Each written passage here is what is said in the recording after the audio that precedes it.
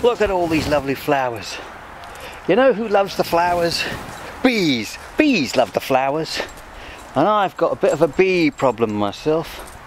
Look at this. See if I can find... Oh, there it is. Good Lord.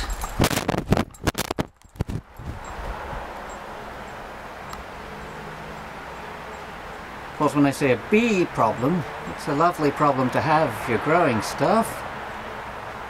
Uh, with the slight disclaimer that it's good if they stay on the outside of your house.